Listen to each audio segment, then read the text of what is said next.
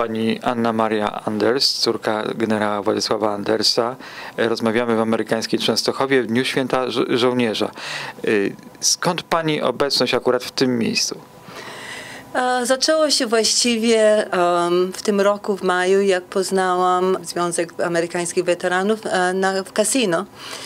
E, Byliśmy troszeczkę w korespondencji i oni em, mówili, że właśnie, że będzie pomnik postawiony w, ka- e, kasino po piersi ojca. I bardzo mnie to zainteresowało, bardzo entuzjastycznie do tego podchodziłam i uroczystość była wspaniała. To było przeddzień uroczystości na Monte Cassino, było 17 maja. A, Fantastyczna zupełnie uroczystość. No i ja odsłoniłam ten pomnik i poznałam wszystkich i muszę powiedzieć, że jakoś naprawdę mnie to wzruszyło to pa, pa, pamięć o, o ojcu, o, o tradycji.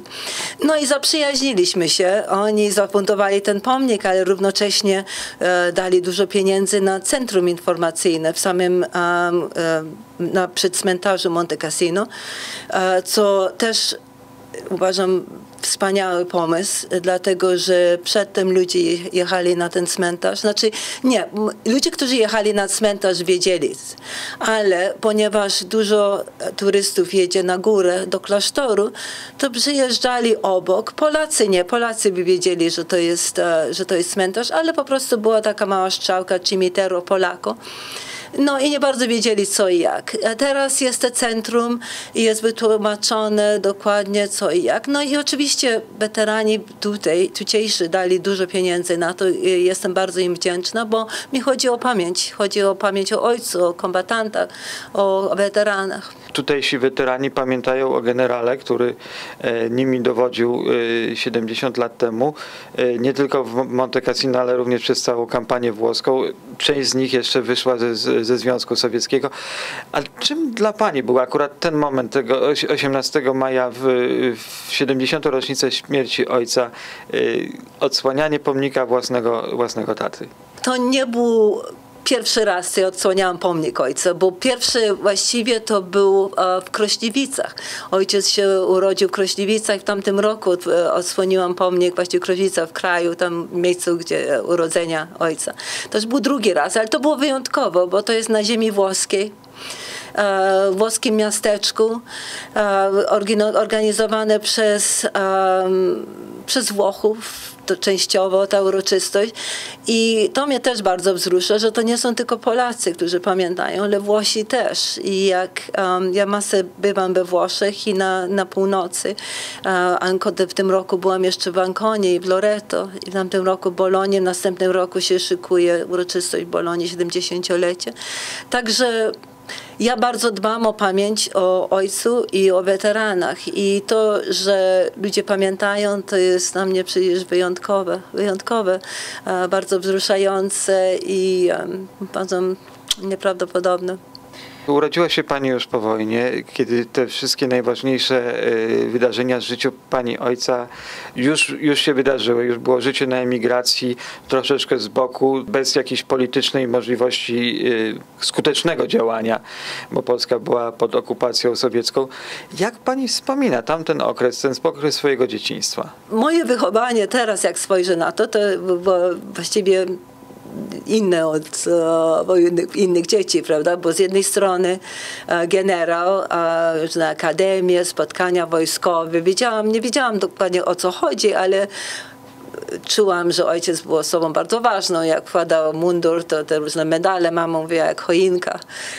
I wszyscy taki respekt i wstawali. Tak, to, a z drugiej strony mama, która wróciła na scenę, z tego co ja słyszę, jak miałam może jakieś 6-7 lat. No i ja miałam z jednej strony powiedzmy życie takie powiedzmy towarzyskie z rodzicami, wojskowe trochę, akademię, a z drugiej strony to był teatr. To było um, przedstawienia Hemara, Refrena, różne terewie, e, teatr polski. I także, ja nie wiem, moje dzieciństwo było tak z jednej strony powiedzmy zupełnie angielskie, angielska szkoła i tak dalej, i moi znajomi, a potem z drugiej strony życie bardzo polskie. Um, ojciec, ja wiem, był aktywny politycznie, specjalnie jak e, byłam dzieckiem, małym dzieckiem. E, potem trochę mniej, bo o, jednak ojciec zaczął chorować, jak ja miałam jakieś 10 lat. No i w dalszym ciągu e, niby był aktywny, ale to troszeczkę były inne czasy. I zawsze mnie interesuje to, co mnie pytają w, w Polsce, bo zawsze pierwsze pytanie to jest, um, jaki generał był w domu. Bo oczywiście, No nie, bo, bo ich fascynuje to, bo przecież oni w ogóle nie wiedzieli, nie wolno było mówić o generale. Przecież to był, e, nie wiem, w ogóle wróg. No, Wróg odebrano mu obywatelstwo, tak, tak, skazano go zupełnie, zaocznie tak. na karę śmierci. Tak, że, tak, że to, i- to, to ich fascynuje, to jest, e, e, to jest, e, to, jest to, co ich najbardziej fascynuje. E, I to, że im odebra, odebrali właśnie to obywatelstwo, to, e, to tak jak zawsze podkreślam, ja mam teraz też obywatelstwo polskie i w tym roku otrzymałam e, dowód polski osobisty. I z tego zrobili wielką taką historię w, w Polsce, bo właściwie jak tak się pomyśli, to jak się zam, zamknęło kołko Andersów, rodzina Andersów, że, że córka po tylu latach dostaje wobec. Ja tego nie potrzebowałam, ja mam i obywatelstwo i angielskie, i amerykańskie. Ale mnie zależało na tym właśnie punktu widzenia patriotycznego. Kim się pani tak naprawdę czuje? Polką, Brytyjką, Amerykanką? Ja muszę panu powiedzieć, że e, ja się czuję Polką. Ja sobie zdaję sprawę z tego teraz, jak jestem w Polsce i jak wie, te tradycje różne, te, te msze, śpiewy, a, jakieś przyjęcia. To jest mi tak strasznie znajome wszystko. To mi tak przypomina moje dzieciństwo. To jest, to jest wzruszające. Ja właściwie aktywna w Polsce jestem tylko od jakichś trzech lat, bo było tak, że ojciec odszedł, Polska jeszcze nie była wojna, wolna. Potem mama jeździła, um, była takim ambasadorem, potem mama była coraz starsza ja nie mogłam z mamą jeździć, bo ja miałam rodzinę, e, mieszkałam już wtedy w Ameryce, wyszłam za mąż i małe dziecko. I, mam, i tak się złożyło. Mama odeszła w 2010 roku i um, ja znaczy, muszę powiedzieć, podjęłam pałeczkę. Na początku bardzo wolno pojechałam raz z kombatant, z weteranami, z kombatantami do Rosji, potem do Uzbekistanu i weszłam w to. I teraz jestem wolna. Najmłodszy syn ma 21 lat tak, i o, mój mąż ni- niestety umarł e, 7 lat temu na, na raka płuc, także ja jestem właściwie wolna na, na wyjazdy. I ja czuję powiedzmy takie, że to jest moje jakieś powołanie do pewnego stopnia. Jestem bardzo a, zainteresowana wojskiem i wojsko jest mną zainteresowane. Jak powiedział jeden generał w Szczecinie w tym roku, młode wojsko panią potrzebuje. Chodzi o to, że ja tak stopniowo powiem.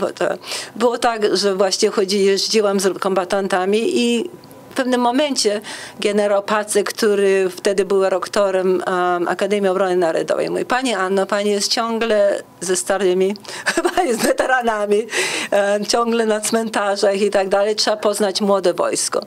I zorganizowali dla mnie podróż po kraju, tak powiedzmy, po jedną, taką pierwszą podróż historyczną i poznałam młode wojsko. I ten generał właśnie powiedział, młode wojsko Panią potrzebuje, inspiruje, dlatego, że wszyscy pamiętają o ojcu, legenda i tak dalej. Także wojsko to jest jedno moje wielkie zainteresowanie, jestem ciągle zaproszona przez wojsko. Drugie to są oczywiście w dalszym ciągu kombatanci, weteranie, a trzecie to jest młodzież. Młodzież, żeby a, kultywować pamięci właśnie po ojcu, po, żołnierzach, po ludziach, którzy a, zginęli podczas wojny. A, pamiętamy, to jest hasło, byłam w tym roku na uroczystości Powstania Warszawskiego w Warszawie. Pamiętamy, to jest to. I Także to ja uważam moja rola to, i z tego wyszło to, że wszedliśmy na pomysł, żeby stworzyć powiedzmy, fundację, stowarzyszenie, że na pomoc specjalnie um, dzieciom ze wschodu, bo jak, jak wszyscy wiemy, armia Andersa zaczęła się w Rosji. Ale ojcu bardzo zawsze zależało na edukacji, na młodzieży. I armia nawet w Rosji wtedy. I szlakiem generała Andersa, potem był Uzbekistan. Jak byliśmy w Uzbekistanie, przecież tam jest Polonia. Te dzieci ze wschodu nie mają w ogóle żadnej możliwości w tych krajach. I zaczęliśmy się interesować, parę osób z rządu i moi przyjaciele, żeby im pomóc. I nam się udało e, załatwić stypendia dla takiej młodzieży w Polsce. Już jakieś 20 takich młodych ludzi, szykuje się jeszcze jakieś 30. Jest wielki entuzjazm, to im otwiera w ogóle nowe życie. Także to jest moje zainteresowanie. To jest to, żeby żeby Polacy byli dumni z tego, że są Polakami, żeby sprowadzać Polaków do, do Polski. Mnie bardzo martwi to, że z kraju wyjeżdża tyle młodych i talentowanych ludzi, że nie mają tych możliwości. Jakoś nie wiem, ja uważam, że Polska jest cudowny kraj. Jeżeli mogę się uważać za ambasadorem dla Polski, powiedzmy, to... to bez, to, bez wątpienia jest pani ambasadorem. Tak. E, a wracając do pani fundacji, ta fundacja będzie sprowadzać dzieci do Polski i, i e, te dzieci będą wracać do siebie, czy one mają nie, zostawać? One normalnie nie wracają. Znaczy w ogóle... E, nie mogą wrócić, mi się zdaje, że już po pewnym czasie. Dzisiaj, w tym roku była wielka rzecz, dlatego że jedna, nasza pierwsza studentka w ogóle otrzymała obywatelstwo polskie. Także ona, i oni kochają, dla nich to jest w ogóle rewelacja. My, którzy mieszkamy w Ameryce, idziemy do Warszawy, no to powiedzmy Warszawa dla, nie, dla nas to nic nie jest, bo tutaj powiedzmy taki Nowy Jork, czy Chicago, czy, czy Boston, to jest powiedzmy coś naprawdę gigantycznego, prawda? Warszawa nam się wydaje mniejsza. Dla nich to w ogóle takie mall, to co my, jak się mówi po angielsku, take for granted, dla nich to jest w ogóle rewelacyjne, takie mole, sklepy. Czyli jest to kontynuacja dzieła pani ojca, który tak. wyprowadził przecież setki tysięcy Polaków z, z, ze Związku Sowieckiego, a teraz pani sprowadza z powrotem tych, którzy, potomków tych, którzy nie zdążyli wyjść z pani właśnie, ojcem właśnie. Do, do macierzy. Tak. I zresztą um, niedawno temu wyszedł album um, właśnie o ojcu, o, o wojnie. Nie wszyscy, ale dojdziemy. To był jeden taki cytat ojca. I uważam, że właściwie to można tak, moja koleżanka właśnie powiedziała niedawno, że następny krok to może właśnie, no dojdziemy, bo właśnie ta młodzież, która została, wraca do Polski. Czego można pani życzyć? Sukcesu, sukcesów a, i to, żeby i poparcie od ludzi, bo ludzie dotychczas, muszę powiedzieć, bardzo popierają. To, że jestem tutaj, to jest właśnie dzięki tym weteranom waszym tutaj, którzy są cudowni ludzie. Także Ale to nie tylko weterani, bo jak pani powiedziała, to jest też młodzież, która, jak, jak wynika z tego, co pani mówi, pamięta i chce no, pamiętać. Tak, ale ja mówię o młodzieży w Polsce. Ja bym no, chciała, tak, żeby no. edukować e, tutaj też młodzież. Na pewno dzisiaj będzie dużo harcerzy, dużo młodzieży i ja przemawiam właściwie mówię naj, najbardziej do, do młodzieży, bo ja mam respekt do weteranów, kochanie do wojska, ale ja uważam, że moja misja to jest to, żeby zbudzić to samo uczucie w młodzieży, co ja mam. W takim razie spełnienia tej misji bardzo serdecznie życzę i jeszcze raz dziękuję za rozmowę. Proszę bardzo, dziękuję. Po mlecznej drodze myśli lecą w świat do strzech slomianych, do rodzinnych chat. I niosą wiarę w to, że coraz bliższy